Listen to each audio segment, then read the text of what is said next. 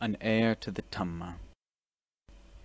When the ordinary mind that doesn't yet have any standards meets up with things that drag it in the wrong direction, it will tend to go rolling after such preoccupations without let-up, to the point where it can't find any foundation for sustaining its peace and calm.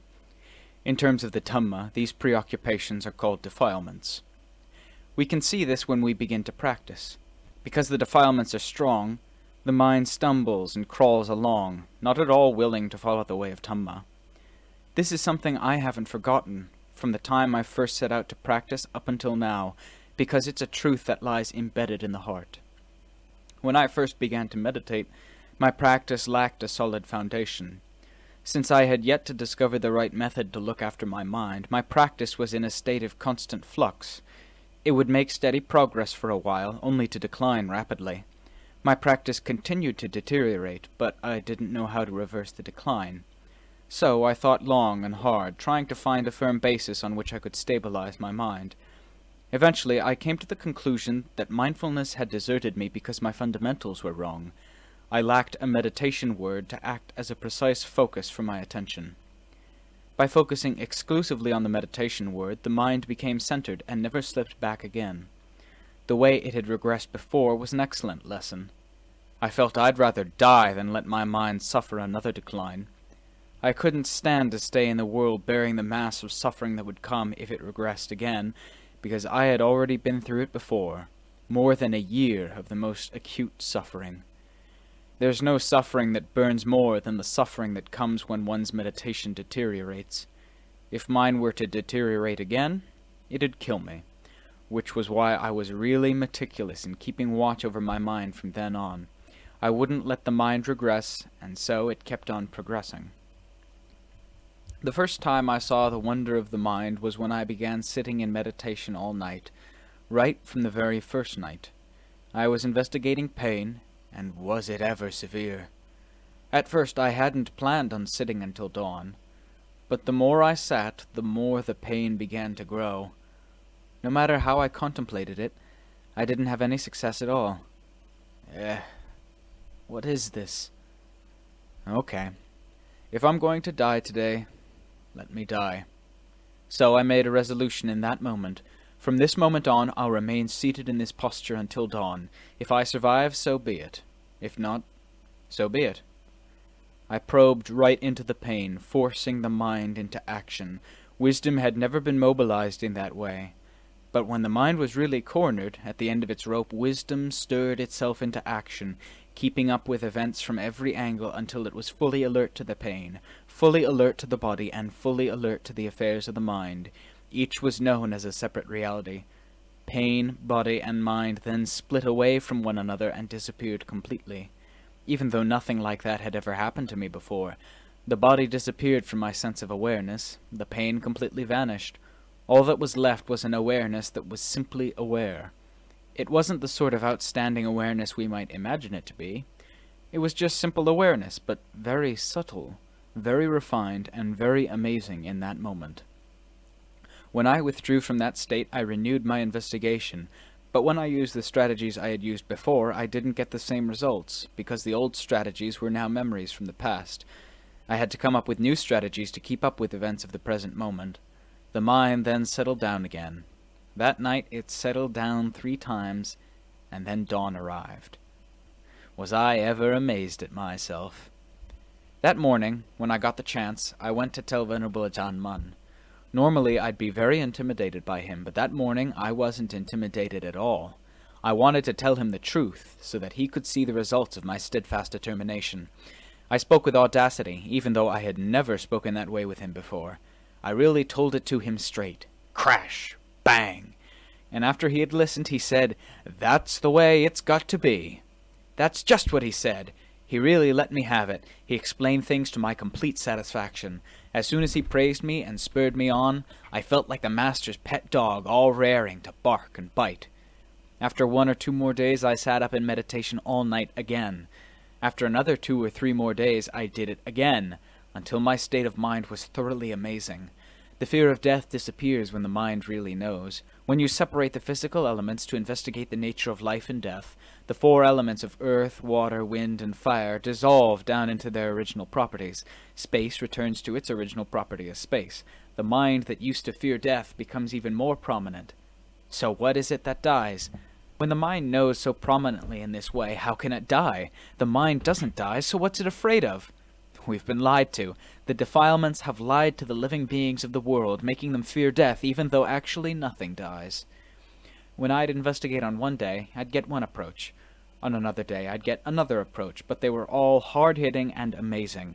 The mind was more and more amazing and brave, to the point where I felt, when the time comes to die, what sort of pain do they think they're going to bring out to fool me? Today's pain is complete in every way. Beyond this, there's simply death. I've seen all the aspects of pain. I've understood and dealt with them all. So when the time comes to die, what sort of pain can they possibly bring out to deceive me? There's no way pain can deceive me. As for death, nothing dies. So what is there to fear, aside from the defilements that lie to us, making us fall for their deceitful tricks? From this point on, I'll never fall for their tricks again. That's the way the mind is when it knows, and it knew clearly, right from the very first night. As for the constant fluctuations of my mental state, since that first night, it never regressed again. That first night, it became clear, this is how the mind that doesn't regress is supposed to be. It was as if the mind had been climbing up and falling down, climbing up and falling down, until finally it climbed up and grabbed hold tight, 100% sure that it would never fall again. This was why I accelerated my efforts full speed. During that rains retreat, I sat up all night in meditation nine or ten times, but never two nights in a row. Sometimes I'd skip two or three nights, sometimes six or seven. I got to the point where I was completely sure about pain, Heavy or light, big or small, I understood how to deal with pain, how to sidestep it, or how to cure it right in time, without being shaken by it. I wasn't even afraid of death, because I had investigated it with the most adroit strategies. Mindfulness and wisdom were completely up on death in every way. Speaking of effort in the practice, my 10th Rains Retreat was when I made the greatest effort. In all my life, I have never made a more vigorous effort than I did during that Rains Retreat. The mind went all out, and so did the body. From that point on, I continued making progress until the mind became solid as a rock. In other words, I was so skilled in my samadhi that the mind was as unshakable as a slab of rock. Soon I became addicted to the total peace and calm of that samadhi state. So much so that my meditation practice remained stuck at that level of samadhi for five full years. Once I was able to get past that samadhi, with the help of Venerable Ajahn Mun, I set out to investigate. When I began to investigate with wisdom, things went quickly and easily because my samadhi was fully developed. It was as if all the materials for building a house were right at hand, but I hadn't yet put them together to build the house, and so they remained just useless pieces of wood. My meditation practice simply stalled at samadhi. Because I didn't combine samadhi with mindfulness and wisdom, it couldn't progress any further. As soon as I investigated with wisdom, I began to know what was what. I was able to steadily cut off the defilements. I began to wake up. All this time I've been lying in samadhi as if I were dead, and it hasn't accomplished a thing. So I stepped up my efforts at wisdom, making it work day and night without putting a brake on it at all. I'm the sort of person who goes to extremes. Whatever tack I set out on, that's the only tack I take. When I began following the path of wisdom, I started criticizing samadhi as being like lying down dead. Actually, samadhi is a means for resting the mind. If you practice properly, that's the way it is. But instead, I criticize samadhi as being like lying down dead. All these years, and it hasn't given rise to wisdom. So I accelerated my efforts at wisdom, beginning first with body contemplation. When I contemplated unattractiveness, it was remarkable how adroit and audacious the mind became. I could perceive right through whatever person I looked at.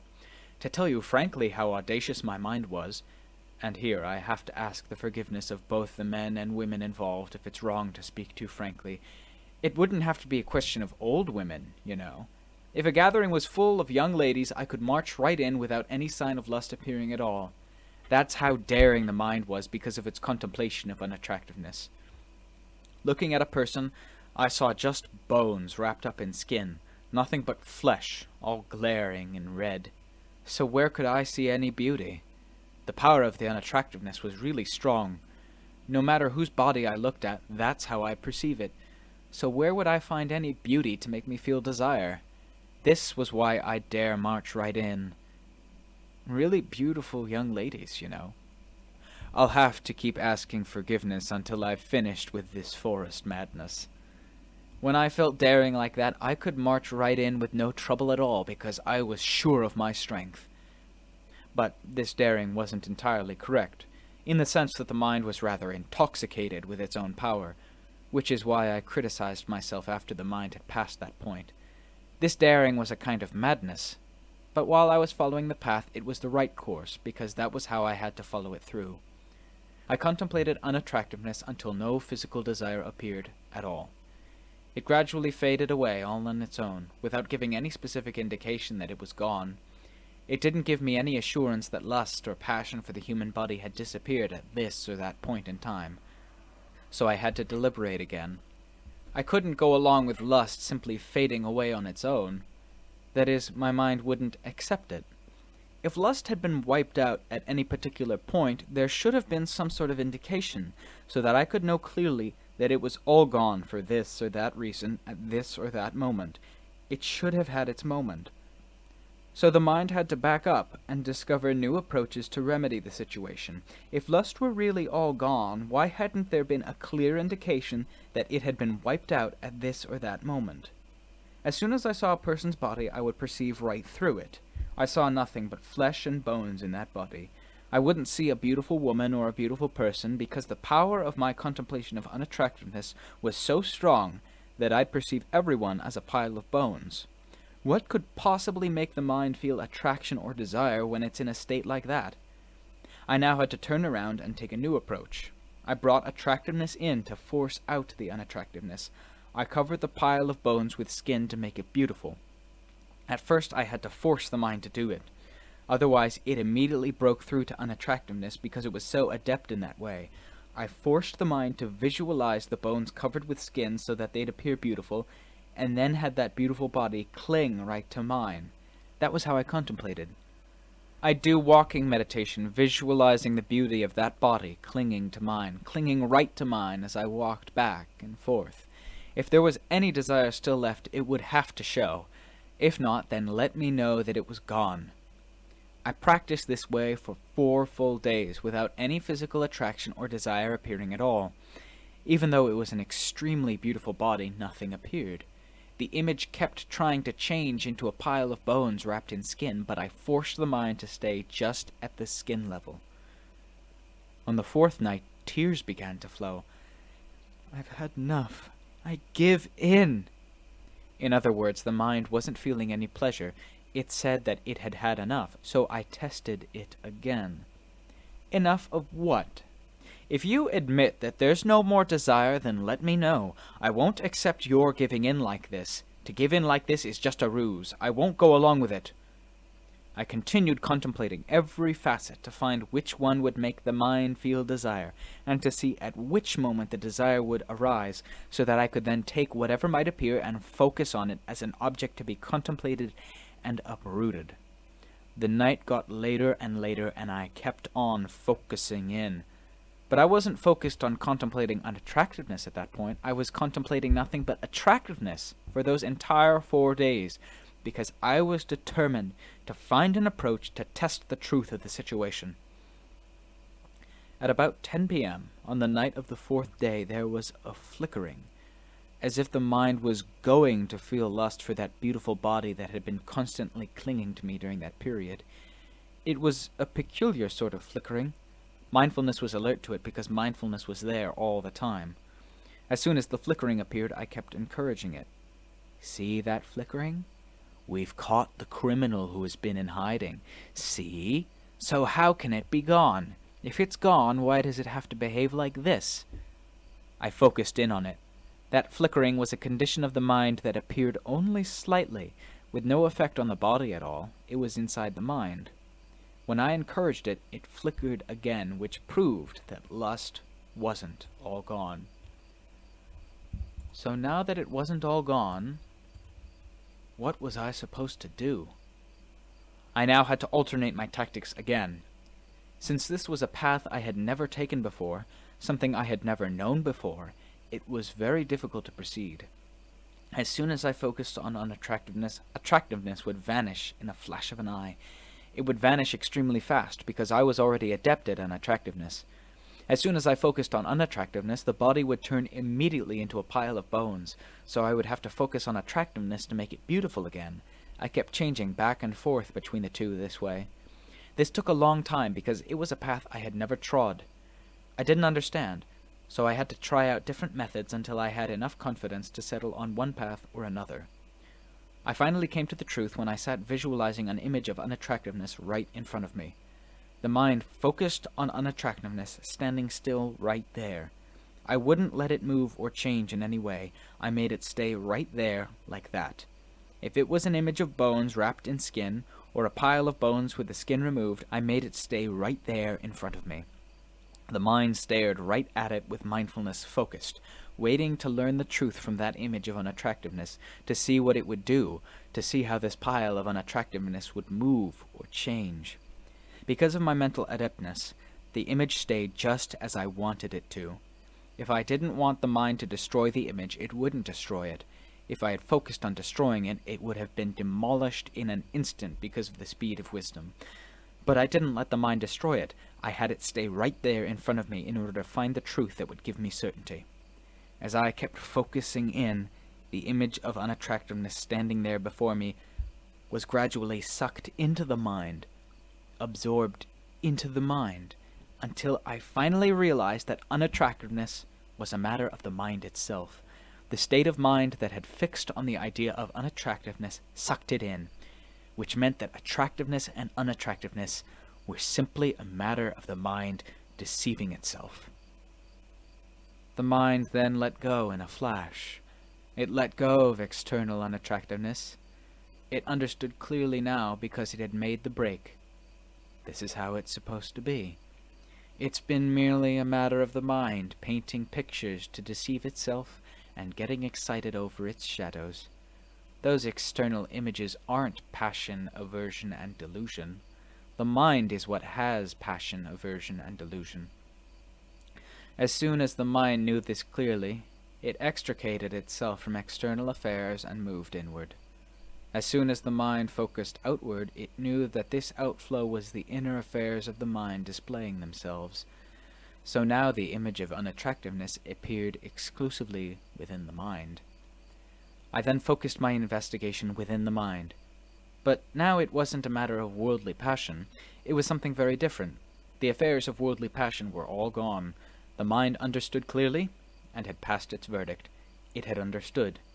What remained was the image appearing within the mind. It was known clearly that this internal image came from the mind. When it disappeared, it disappeared there and didn't go anywhere else. The instant after I focused on making an image appear, it vanished. Before I had focused on it for long, it would vanish. After that, it was just like a lightning flash. As soon as I focused on making an image, it would vanish immediately. Because of the speed of the arising and disappearing, there was no time to elaborate on its being attractive or anything else. The instant it appeared, blip, it vanished. From that point on, there were no more images in the mind. The mind became completely empty. As for external unattractiveness, that problem had already been taken care of. I had understood it from the moment it was sucked into the mind, and the mind had immediately let go of external unattractiveness.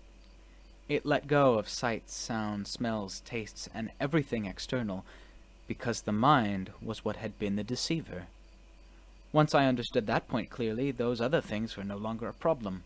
The mind understood immediately and let go of external things once and for all. After the internal images had all disappeared, the mind was empty. Completely empty. Whatever I focused on was completely empty. I looked at trees, mountains, and buildings and saw them merely as shadows. The major part, the mind, was totally empty. Even when I looked at my own body, I saw it simply as a shadow. As for the mind itself, it was empty, clear through, to the point where I exclaimed to myself, Is the mind really this empty? It was empty at all times. Nothing passed into it. Even though it was that empty, I formed mental pictures as a way of exercising it. The images I formed were a means of exercising the mind to make it even more adept at emptiness, to the point where after a single blip it would be empty. A single blip, and it'd be empty. The moment anything was formed, blip, the mind would be empty right then. At that point, the point where the mind was empty in full measure, the mind's awareness was also prominent in full measure.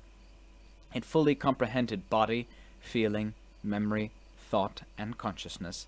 It fully let go of them on its own, with nothing remaining. Only awareness was left. There was a feeling of relatedness and intimacy, a very subtle sensitivity for that awareness that's hard to describe in line with its reality.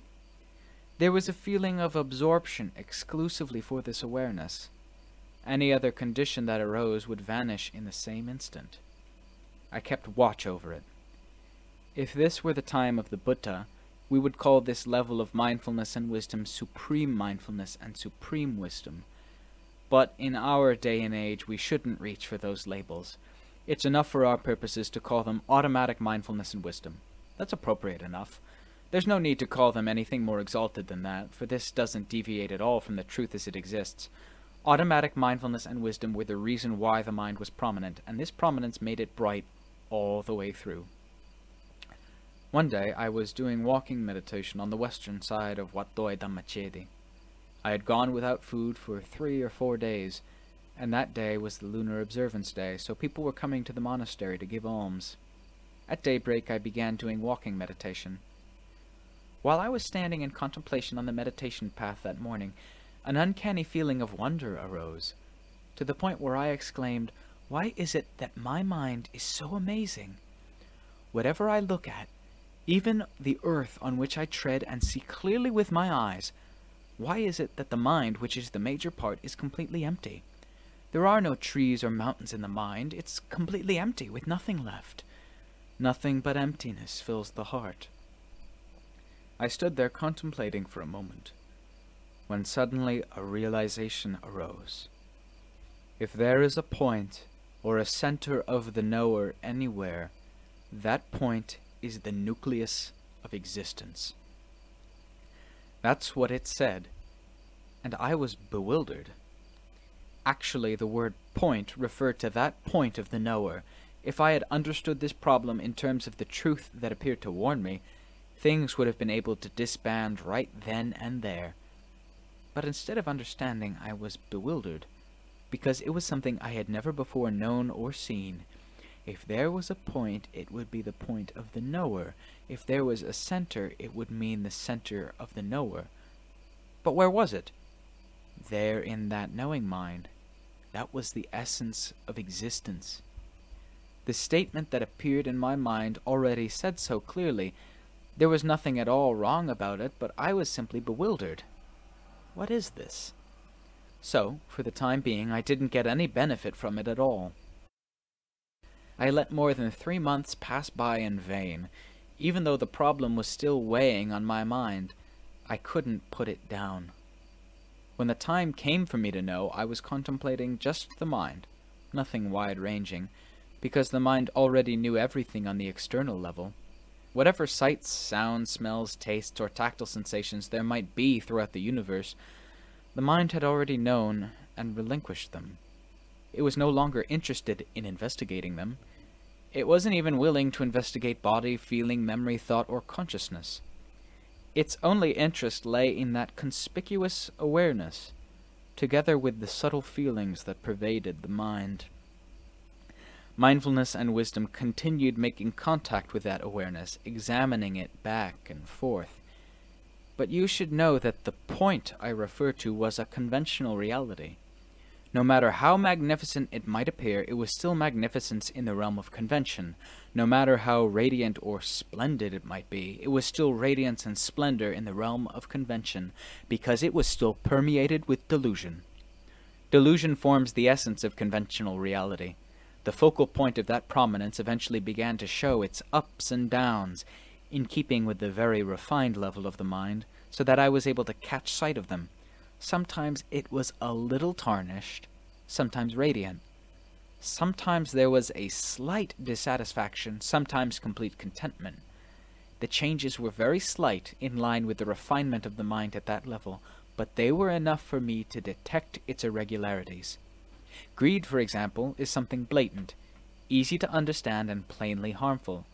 And yet the world is still content to feel greed. Think about it. Anger is also blatant, and yet the world is still content to feel anger. Infatuation, love, hate, all these things are blatant, easy to understand, and plainly harmful, and yet the world is still content to feel them.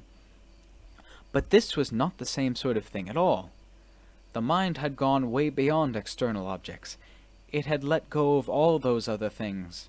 But why was it still attached to this amazing radiance? Using mindfulness and wisdom that were continually focused inside at all times, I noticed that it occasionally became slightly tarnished, or it displayed a slight dissatisfaction, which was a form of change, and so nothing constant or trustworthy. Ultimately, there was no escaping it. I had to see that this state of mind was not to be trusted. So I came to reflect, why is it that this state of mind can be so changeable? Now it's defiled, now it's radiant, now there's satisfaction, now there's dissatisfaction. It's not always constant and true. How can a mind as refined as this still show such a variety of conditions? As soon as mindfulness and wisdom turned to take an interest in investigating this state of mind, a totally unexpected realization sprang up within the mind.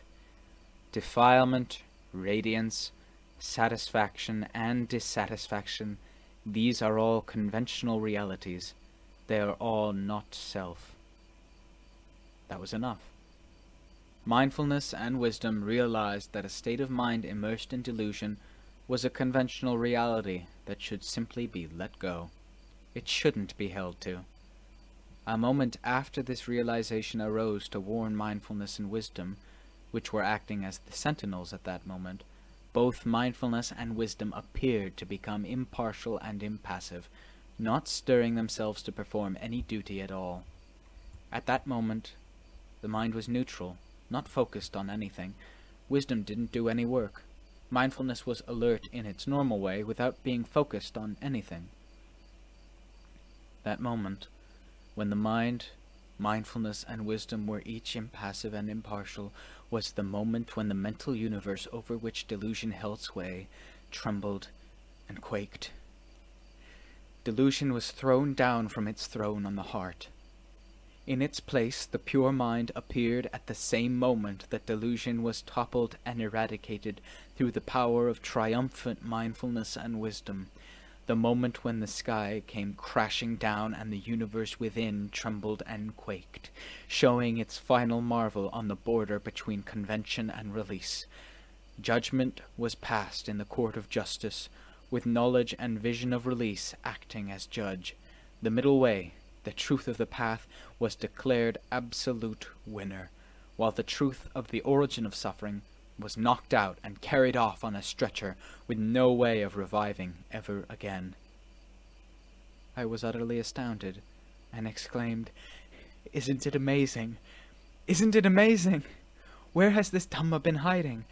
How is it that the genuine Dhamma, this amazing Dhamma, exceeding all expectations, exceeding all the world, has now appeared in the mind and is one with the mind. And where were the Buddha and noble Sangha before this? How is it that these tremendously amazing refuges have now become one with the heart? Is this what the true Buddha, Dhamma, and Sangha are like? They didn't fit in with our speculations at all, but were simply a pure truth dwelling with a pure truth. Then I reflected with dismay on the plight of my fellow living beings. Since this is what the genuine Dhamma is like, how could it be brought out and taught so that others would know and understand? Wouldn't it be more appropriate to live alone until the day the body breaks apart, rather than try to teach anyone? As soon as I considered this, a kind of realization suddenly appeared to me. The Lord Buddha knew this amazing Dhamma all by himself, but was able to become the teacher of all living beings throughout the three levels of existence. How is it that I have been able to teach myself, and yet I get discouraged at the thought of being able to teach others?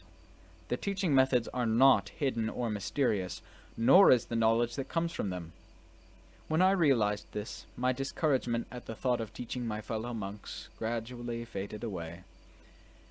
This event made me think of the first moments after the Buddha's enlightenment, when he wearied at the thought of taking the excellent Dhamma in his heart and teaching it to the world because he felt that it lay beyond the capability of other people to understand. Even though he aspired to be a teacher to the world, he felt that the Dhamma he had realized was a Dhamma beyond reach, so that it would be hopeless to encourage the world to accept it and practice for its realization. But, when he reflected on the path he had followed to enlightenment, he realized that the Dhamma wasn't beyond reach or beyond hope, that there would be infinite benefits for the world if he were to teach the way of the Dhamma whose results he had come to see beyond a doubt. This was why he made up his mind to teach the world from that point on. I felt the same way, because it was an utterly amazing Dhamma that I had never before experienced. When I looked solely at the results in the present, without reflecting back on the causes, the path I followed, I felt disheartened and abandoned the idea of telling others about this Dhamma. But, after reflecting back on the path I followed, I felt more like speaking about the various facets of the Dhamma to the people who have studied and trained with me ever since. This Dhamma is a fixed truth. Those who know this principle of truth all trust in the same way, because the true Buddha, the true Dhamma, and the true Sangha exist in the heart. The heart that is truly pure is the Buddha, Dhamma, and Sangha in full measure, I ask that you take this teaching and earnestly put it into practice. Gain release so as to see it clearly in your heart, the heart that is currently oppressed by defilement, and the heart when it has attained release from that oppression. How do they differ in value? Come to see this clearly in your own heart. You won't see it anywhere else. It will become immediately apparent within the meditator who practices correctly.